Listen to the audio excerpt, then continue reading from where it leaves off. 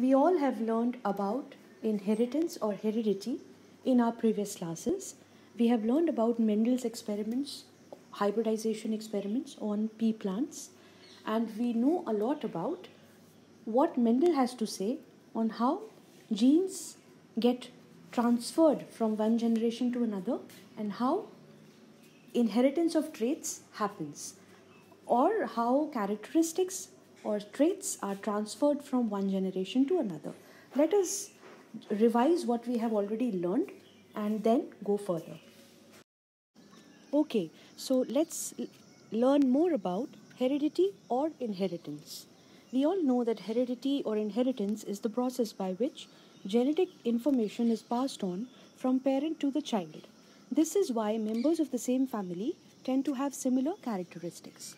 Now, in humans, human beings carry two copies of each chromosome. They have two versions of each gene. We all know that we have a genetic coding in the form of chromosomes and genes, and we know that we carry two copies of each chromosome, and there are two versions of each gene. Now, these two different versions are called alleles. These alleles have different form of the same gene. Humans have alleles of particular genes in pairs and our characteristics are determined by the combination of alleles we have. We also know that alleles can be either dominant or recessive. We'll understand these terms a little more as we go further. Now, what are these dominant and recessive alleles? Dominant alleles show their effect even if the individual only has one copy of the allele. For example, the allele for brown eyes is dominant, therefore, you only need one copy of the brown eye allele to have brown eyes. Although with two copies you will still have brown eyes, but to have brown eyes, since the allele of brown eyes is dominant, even if you have just one allele of brown eye, you are going to have brown eyes. Now, the second instance, if both alleles are dominant, it is called codominance. The resulting characteristic is due to both alleles being expressed equally.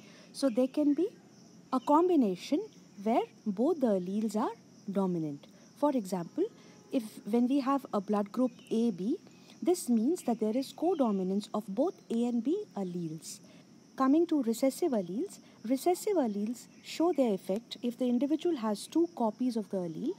For example, the allele for blue eyes is recessive, therefore, to have blue eyes, you need to have two copies of the blue eye allele.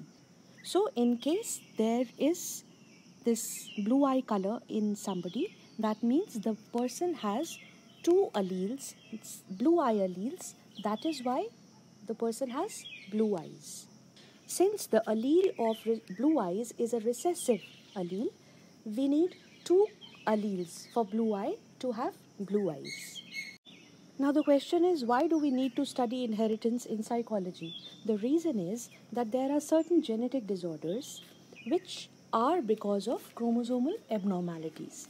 So, there are certain genetic disorders which we are going to study in our following lectures for which we need to understand the basic principles of inheritance and the key terms related to heredity or inheritance. A genetic disorder is a disorder which is caused by a change in an individual's DNA, also known as a genetic disease.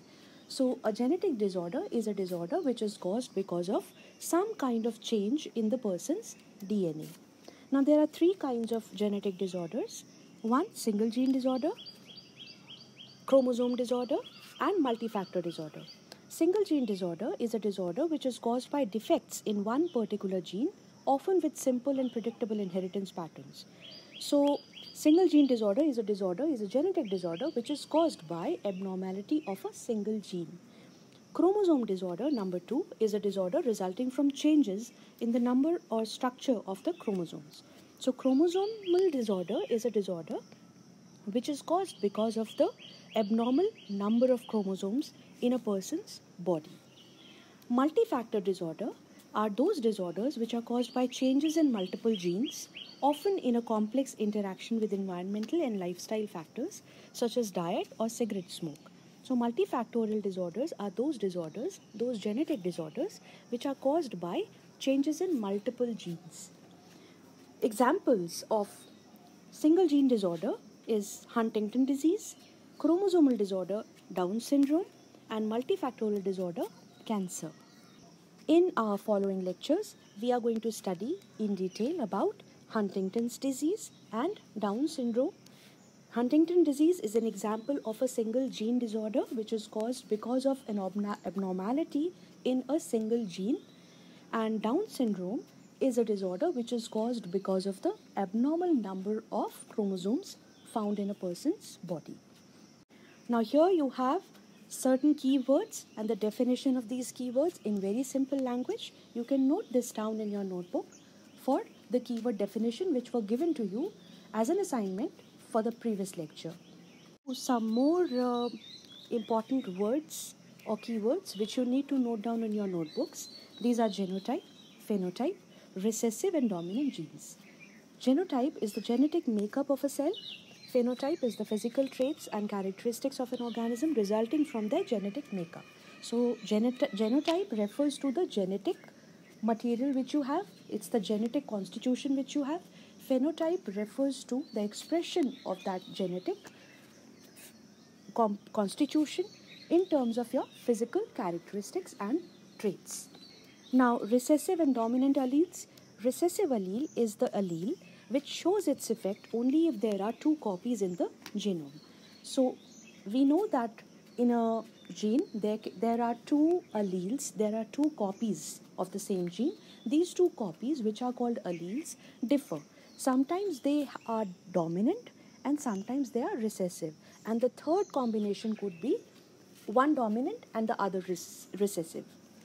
So a recessive allele is that allele which shows itself in terms of physical characteristics or phenotype only when both the copies are recessive. For example, the allele for blue eyes is a recessive one, which means that to have, in order to have blue eyes, one needs to have two alleles of, two recessive alleles of blue eyes.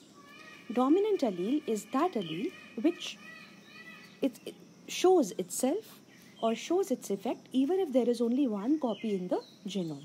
So the dominant allele is that allele which expresses itself even if it is present as a single copy. For example, the, the allele for brown eyes is a dominant one, which means that even if you have one of the copies in a gene, one of the alleles is dominant for brown eyes, you have you will have brown eyes no matter what the other allele is. So that is how we understand the genotype and phenotypical characteristics which results from the genotype. Let us now go to Mendel's laws. Now Mendel has given three laws of inheritance based on his hybridization experiments on pea plants. Uh, these three laws of uh, inheritance are law of dominance, law of segregation, and law of independent assortment. You can note down these three laws of inheritance in your notebook, which is a part of your syllabus. In the next lectures, we are going to understand how heredity or inheritance results in some genetic disorders, as we have understood in this lecture. In the next lecture, we are going to study in detail the two genetically caused disorders, which are Down syndrome and Huntington's disease. Huntington's disease and Down syndrome are genetically caused disorders which have a psychological manifestation as well. What it means is that a person who has Huntington's disease or Down's syndrome suffers from a lot of psychological incapabilities or deficits and this is what we are going to learn in our next lecture. Thank you.